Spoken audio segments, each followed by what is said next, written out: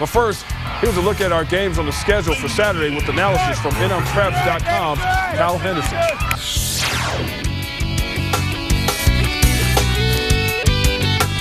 This is Kyle Henderson of NMPreps.com, and this is what you need to know for Saturday in Week 11.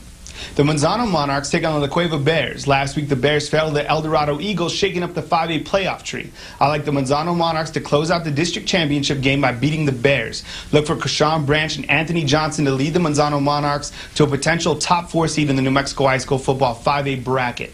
Also in 5A action, you got the El Dorado Eagles taking on the Sandia Matadors. Last week, as mentioned earlier, the El Dorado Eagles knocked off the La Cueva Bears 26 to 14. I like the Eagles to again fly to victory thanks to 6'5", 210 pound Sam Gentry. Also on Saturday, we got the Highland Hornets taking on the Valley Vikings and the Highland Hornets final district game of the season. I like the Hornets to continue their big season run towards the end of the season thanks to sophomore quarterback Brian Medina. Also watch for athletes like Rashad Ortiz and David Brown out of Highland. Highland very good down the stretch. This is Kyle Henderson of NMPreps.com, and that's what you need to know for Saturday in Week 11.